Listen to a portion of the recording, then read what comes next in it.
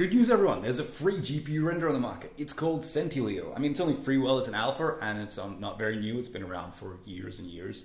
I think I read about it in a paper magazine. Remember those things when you flip them open and read them? So yeah, and it actually does a lot of stuff. It supports X particles color. It doesn't support hair render yet, but it can render hair. I'll show you later. Just watch in the end, it's there. And it's really nice. I mean, it. I think if I didn't have Octane, I'd probably use it. It's it's free, right? Let's go have a look at all the features. It's pretty fun. Need rigs? Ace5 Studios has rigs. So, where do you start with a render engine quick review? Well, I have the scene. I Centileo has an IPR, and it renders cubes with depth of field. Uh, currently, it's running on a 1060, so it's going way slower than it should be because for some reason screen recording and my 2060 is just having some weird conflicts. But basically, I say it's a pretty fast render engine. Maybe I'll do some comparisons with Octane if you want me to post some comparisons.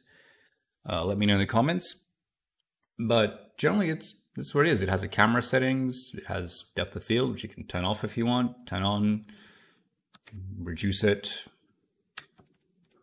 increase it. Okay, maybe that's too much. Still too much. There you go. So it's pretty good.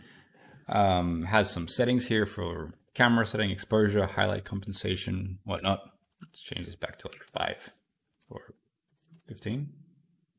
There you go. Um, and you have autofocus, so you can click where you want the focus to be.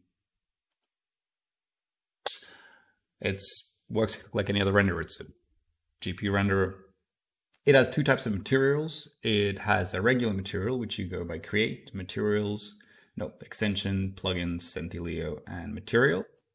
And this material is basically just like a Cinema 4D material standard one. It's just diffuse reflections. You can turn stuff on, off, whatever transparencies, wherever you want. So if we have our cubes here, if we apply this to the cubes, just like a regular material, this won't update unless you turn on the auto update thing here. And now when you change something here. Maybe I press play and then the auto update. There you go. So it's pretty interactive. Um, also change camera direction. It's very snappy. Um, currently, it uses uh, a HDRI map. I'm, no, actually, I'm using just a gray default light. I can turn on HDRI map, and I have this little sky object, and I can change this overall multiplier to five or whatever. You just load it in here. So it's pretty solid that way. Um, it also has regular lights, scenario light. Um, again, very responsive. And remember, this is on a 1060, so if you have a better video card, it's much faster. Uh, where we're not, where we're going next.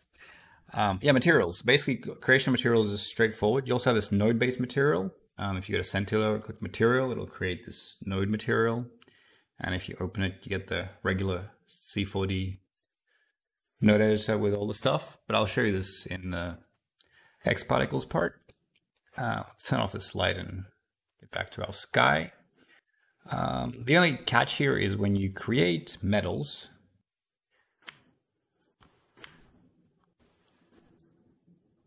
Okay, that's the wrong thing that I hid there. There you go.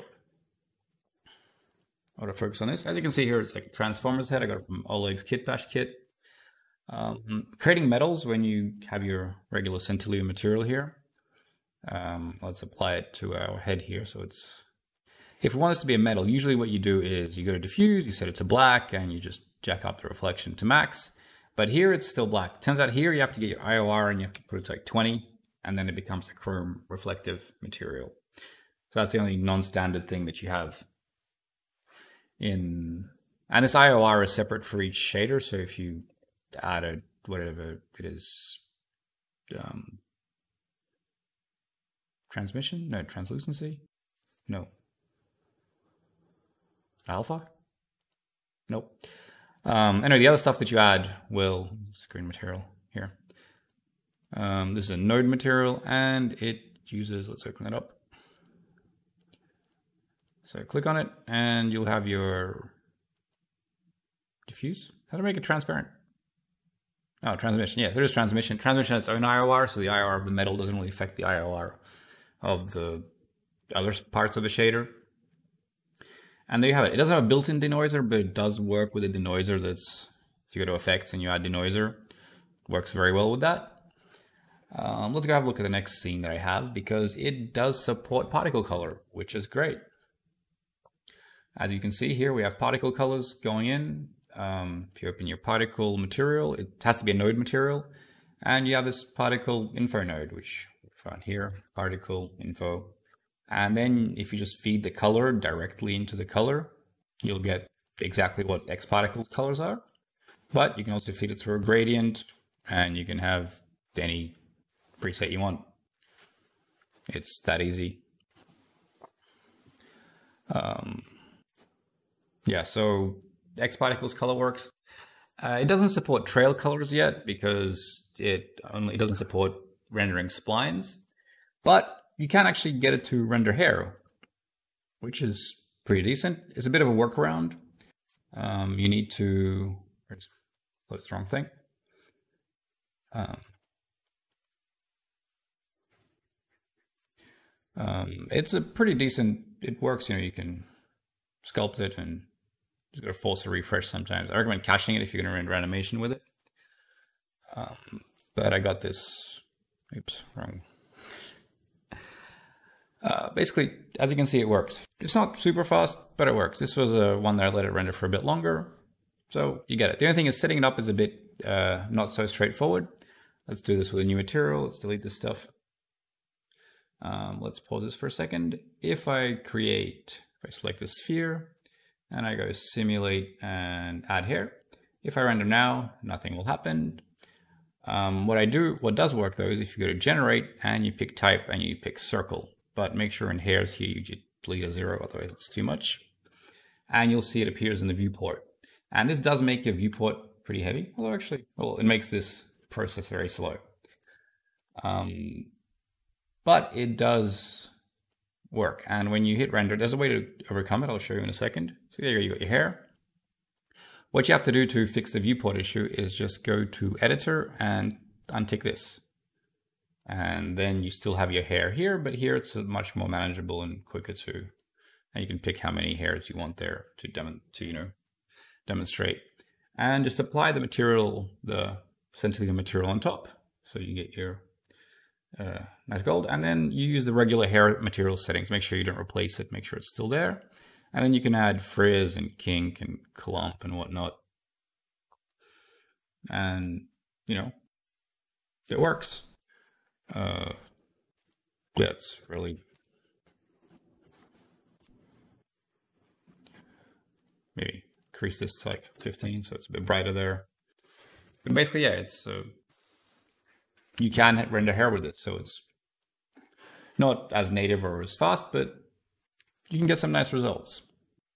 If you want to see more stuff about hair, let me know because I don't know, it takes a while to test it out and learn the stuff. So skin skin is another thing. What I like is when you make a new material, like you make a new regular material from extensions and uh, when you turn on subsurface scattering, or is it subsurface?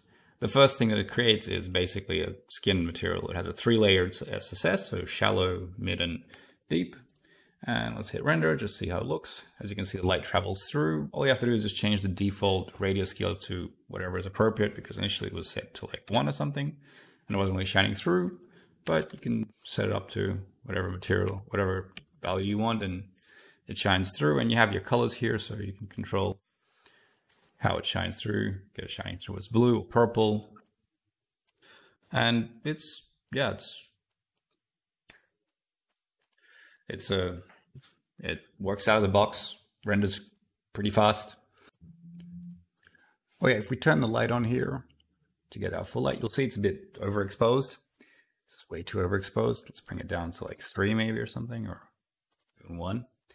Um, let's keep it at three so it's a bit overexposed so we can see there's a settings dialog here with a bunch of settings, but you actually have exactly the same settings if you turn it off. If you just go to your render settings. Um, by the way, the shortcuts don't work unless you click out of the IPR. And here you have this highlight uh, white and you can, it's basically a highlight compression in like tone mapping. So you can reduce how exposed it is. And here also you can lower the exposure. So you have this nice kind of control over getting an image that you want. Um, yeah, it's really nice. And you have, you know, vignetting here, which you can't really see on this render, but you have a bunch of little post effects, no glows, but still very handy. Uh, and it's free. Did I mention it's free render engine for Cinema 4D? What else do you know that's free for Cinema 4D that gives you this kind of result? Um, I haven't really stress tested it with lots of geometry. Again, let me know if that's something that interests you. I'll see how it handles a forest. But basically, yeah, this is what I want to go over. It's a really nice engine. It's it works. Cinema 4D friendly. Has a bunch of features, node-based materials if you need them. Or if you don't, just use the regular ones. Yeah. So go check it out on the website, download it, give it a spin, let me know what you think. See you next time. Thanks for watching, and as always, remember, if you need rigs, Ace5 Studios has rigs. We have free rigs up here that you can use in your personal projects. We have Marty and Mia and 5J Pack for explainers and arms and legs, and Maria has a bunch of cats and animals you can use. And here, if you go through Marty has a full face rig, which you can, you know, it's lots of functionality. You can use them in your projects. Mia is also fully rigged. Um, you can use her as a host or to sell your product. Um, also have the arms and legs pack, which you can put together to build your own characters. And they're already rigged, so you don't need to do any weight painting. You just have to stick them together and ready to go. Or you have 5J people for your explainer videos and other stuff. So don't forget to check it out and see you next time.